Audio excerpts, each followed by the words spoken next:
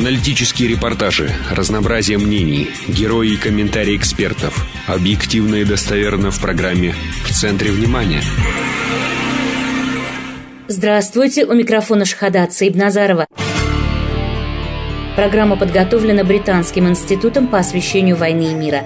В ближайшие несколько минут мы снова с вами поговорим о том, что важно – Одной из актуальных проблем для лиц с инвалидностью в Таджикистане является физическая доступность городским объектам.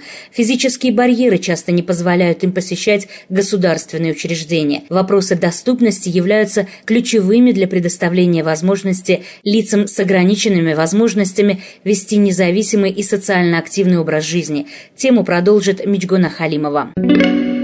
Эмумали Холову было 8 месяцев, когда он заболел полиомиелитом. Левая нога не работала, однако после длительного лечения физических упражнений получилось поставить сына на ноги, говорит мама Азада Хакимова. Она очень переживает за будущее своего семилетнего сына. Мой сын получает пособие в размере 130 самани. Это 16 долларов. В этом году он пойдет в первый класс. Я очень хочу, чтобы он стал ремесленником и смог в будущем найти себе средства на жизнь. Мамлакат Абдусамадова, директор общественной организации «Максат», обращает внимание на проблему передвижения людей в колясках. По ее словам, до сих пор для людей с ограниченными возможностями в городах нет удобных подъездных путей и не везде можно увидеть пандусы. Общественная организация уже 4 года работает в районе Деваштич с 522 людьми с ограниченными возможностями. Многие из них посещают курсы шитья, вязания и могут работать на дому, говорит Мамлакат Абдусамадова. Первая и заветная мечта человека с ограниченными возможностями – это быть здоровым, как и все остальные люди. Сегодня пособия в 130 самани не хватает для проживания. В Таджикистане действует пятилетняя государственная программа здравоохранения и социальной защиты людей с инвалидностью на период с 2016 по 2020 годы, которая нацелена на создание благоприятных условий с равными возможностями для всех посредством улучшения здравоохранения, реабилитации и социальной защиты людей с ограниченными возможностями. По словам Назакат Одиназода, первого заместителя председателя агентства по социальному и пенсионному страхованию, с 1 июля пособие для инвалидов увеличилось и составляет как минимум 156 самани или около 20 долларов. В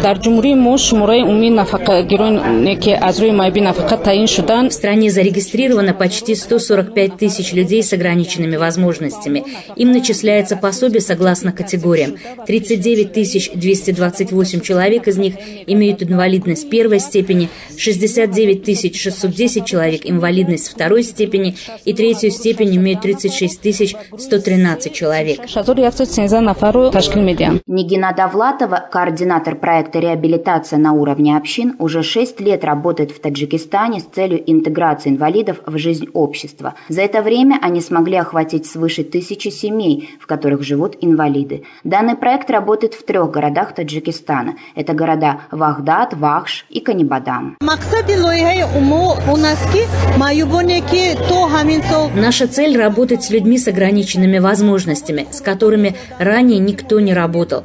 Мы их обучаем, чтобы они смогли самостоятельно есть и одеваться, чтобы они могли выходить на улицы, и у нас есть уже достижения в этом направлении. Они как будто заново ожили. Прежде никто к ним не приходил и не спрашивал, чего они хотят и о чем мечтают. Психолог Зарина Кинжаева утверждает, что люди с ограниченными возможностями нуждаются в особом уходе и внимании. С ними даже разговаривать необходимо по-особенному. Однако многие отвозят своих близких в специальные учреждения и забывают о них, что становится причиной застоя их выздоровления.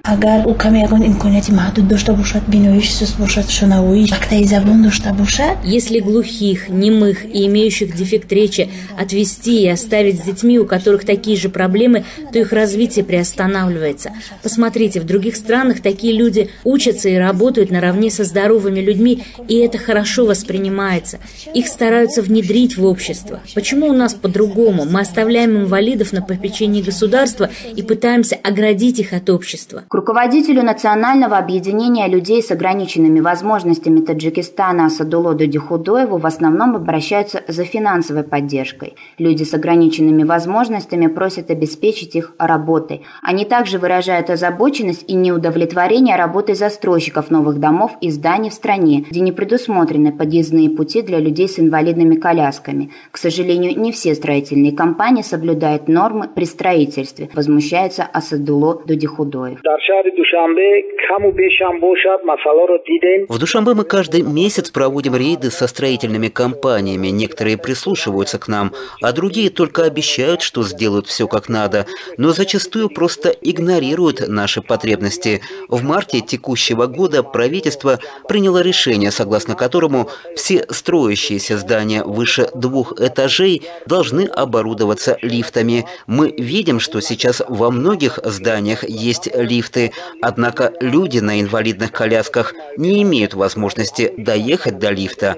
Очень крутые лестницы не позволяют нам это сделать. До настоящего времени Таджикистан так и не подписал Конвенцию о правах инвалидов, которая закрепляет весь комплекс прав лиц с инвалидностью. Конвенция была принята еще в 2006 году, и по официальным данным, по итогам 2015 года, ее ратифицировало 164 страны. Международно-правовой документ направлен на привлечение внимания к проблемам людей с ограниченными возможностями, защиту их достоинства, прав и благополучия, на привлечение внимания общества к преимуществам, которые оно дает от участия инвалидов в политической, социальной, экономической и культурной жизни. Таджикистан ссылается на трудное экономическое положение и дефицит бюджета, который не позволяет присоединиться к конвенции. Репортаж подготовила Межгуна Халимова, Душанбе. Уважаемые радиослушатели, если у вас есть какие-либо комментарии, вопросы или вы желаете рассказать о своей проблеме, вы можете позвонить на наш номер 44 640 10 11. Вы слушали программу, подготовленную Британским институтом по освещению войны и мира. У микрофона была Шахада Цибназарова. Наши радиосюжеты и статьи вы можете найти на сайте в интернете www.iwpr.net или www.kabar.asia, а также на Фейсбуке вы можете посмотреть нашу страничку IWPR Таджикистан. Встретимся на этой же волне в то же время ровно через неделю. Мы снова с вами поговорим о том, что важно.